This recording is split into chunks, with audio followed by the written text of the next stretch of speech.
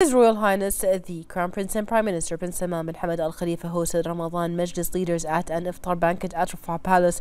His Royal Highness highlighted the importance of Team Bahrain's unified efforts to meet the kingdom's wide-ranging development goals led by His Majesty King Hamad bin Isa Al Khalifa.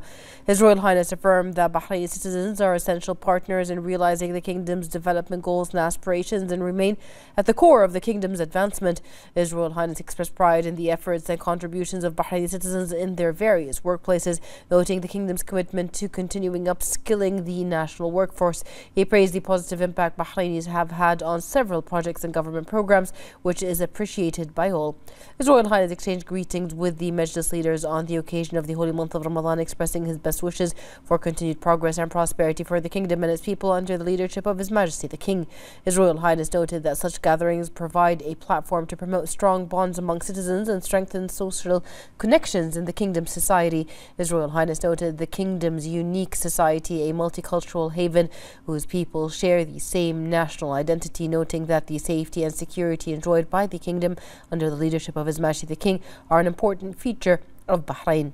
He emphasized the national responsibility to safeguard and maintain the kingdom's safety and security. His Royal Highness also expressed pride in the successes of the kingdom's economic recovery plan and Bahrain Economic Vision 2030, affirming the importance of measuring and evaluating the remaining goals and achieving them as part of ongoing development efforts.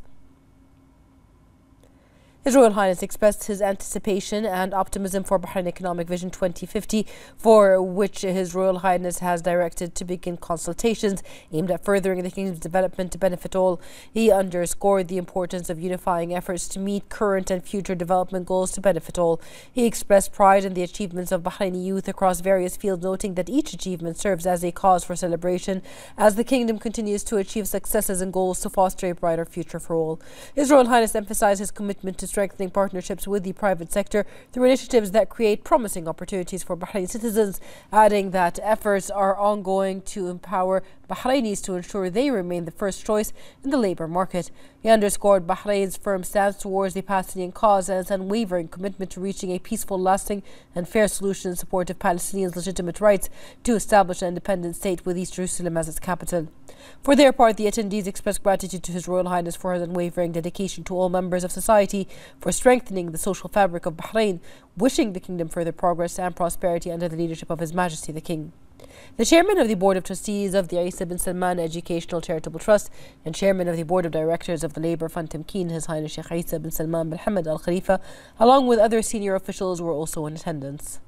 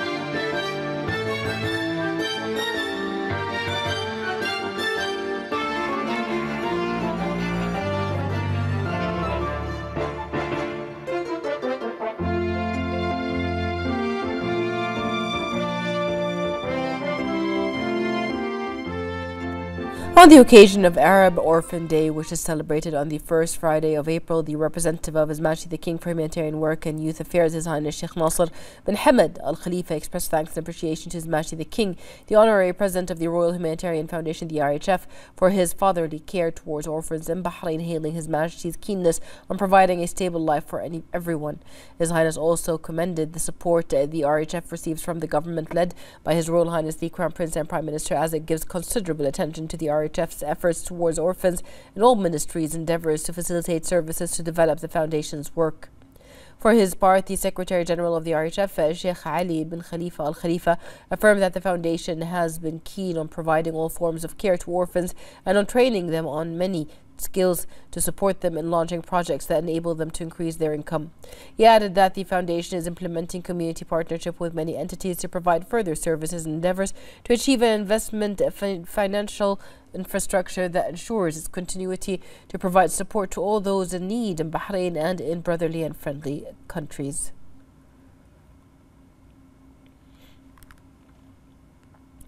The team of His Highness Sheikh Isa bin Abdullah bin Hamad Al Khalifa 2 Seas Motorsport achieved the impressive victory of a double podium finish at the start of the British GT Championship season in the UK.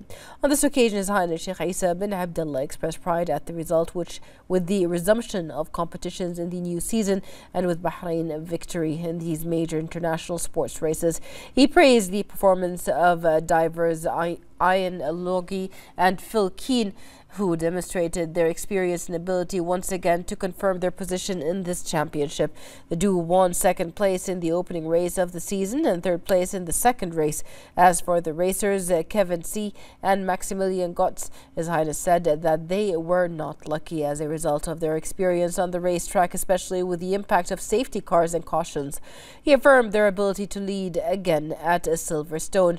Team 2 Seas is currently focusing on its first European participation in uh, the the Fanatec GT World Challenge Europe powered by AWS, which takes place at Paul Ricard at a later date. The outcomes of the report of the National Audit Office, the NAO, on the Protective Home License Khatwa program have topped the agenda of a joint executive legislative meeting. It was co-chaired by the Speaker of the Council of Representatives, Ahmed Al-Msallam, the Shura Council Chairman, Ali Saleh, and the Minister of Cabinet Affairs, Ghanem Al-Buainin. The Speaker emphasized the common keenness on the interests of the nation and citizens and on supporting the request of the Khatwa program affiliates in accordance with the law, provisions, regulations, and procedures in force and the importance of developing programs that contribute to improving citizens' living standards and entrepreneurship. The Shura Council Chairman praised the keenness of the government to provide the legislative authority with information regarding topics of interest. The government's representatives uh, reviewed the results of the NAO's investigative report on the Khatwa program, where the Minister of Parliament Affairs underlined the keenness of the government to provide all forms of support to the citizens to benefit from government programs and services.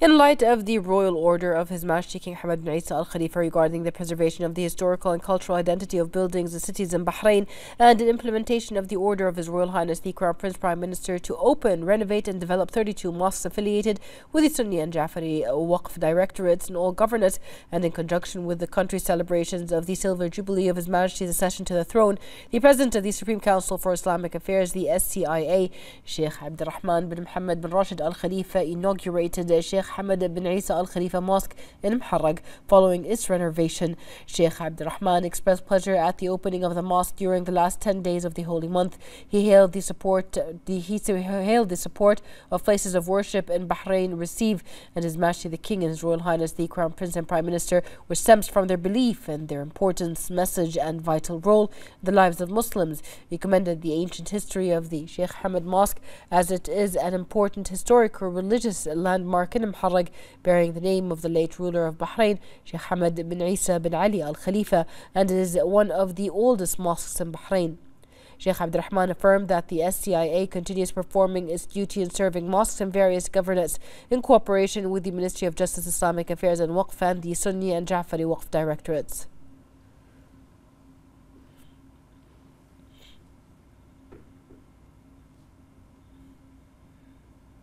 The Board of Trustees Chairman of Bahrain Center for Strategic International and Energy Studies Dirasat, uh, Sheikh Dr. Abdullah bin Ahmed Al Khalifa, received Arab ambassadors to Bahrain and hailed the brotherly and close ties between Bahrain and their countries, including in scientific research. He noted Dirasat's commitment to research excellence, knowledge exchange, and building partnerships in accordance with the highest standards of quality and efficiency, as it is one of the international centers of expertise and one of the best research centers in the region. Sheikh Dr. Abdullah affirmed that that scientific research receives the support of His Majesty the King and His Royal Highness the Crown Prince Prime Minister. He briefed the ambassadors on the events of the centre and his publications.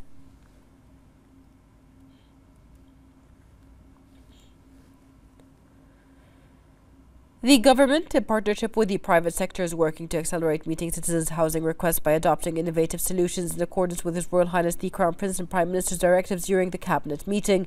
To achieve the visions of His Majesty the King aimed at developing the nation, the Ministry of Housing seeks to provide a set of alternative solutions and options for those uh, who are eligible to choose what is suitable for them. The ministry has worked to enable citizens to obtain adequate housing, the most important of which is building modern and integrated housing towns in addition to launching programs and financing services granted by the ministry through the Tasheel program and the new category of Mazaya, which provides citizens with a range of options to buy or build. The ministry also launched the Government Land Development Rights Program with the aim of providing social housing units in partnership with the private sector. The first project of this program was the uh, Suhail with, with 132 housing units. An agreement was also signed to implement 131 housing units in Salman town. The ministry is also implementing implementing eight additional projects.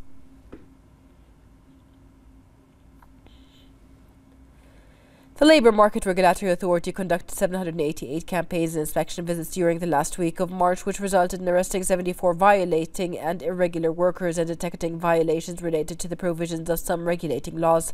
The authority noted that legal measures have been taken regarding the violations.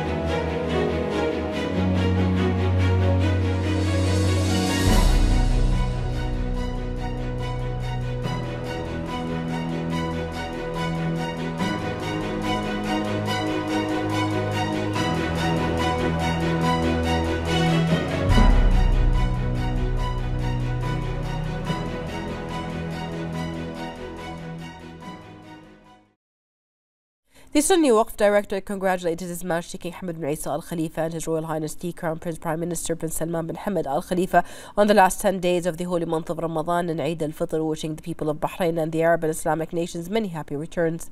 The Sunni Waqf Council announced that the Eid al Fitr prayers will be held at affiliate mosques and uh, prayer areas at 5:38 a.m., noting that it has prepared 19 fully equipped Eid al Fitr prayer areas, in addition to prayer areas at many schools for non Arabic speaking communities across the governorate. On the occasion, the Sunni Waqf Directorate thanked the government entities that have cooperated with it to prepare the Eid al-Fitr prayer areas. They include the Ministries of Municipalities Affairs and Agriculture, of Interior, Information, the Electricity and Water Affairs Authority, the Ministries of Housing and Urban Planning, of Youth Affairs, of Education, of Health, and the Bahrain Authority for Culture and Antiquities.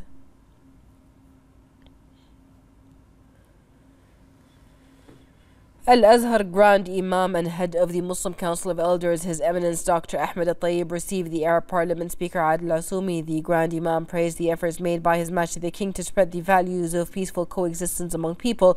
He stressed the necessity of building on the historical results of the Bahrain Dialogue Forum to consolidate the values of coexistence and peace between different cultures and religions. He also praised the role of the King Hamad Global Center for Peaceful Coexistence in spreading and consolidating these values through pioneering programs that regional and global levels.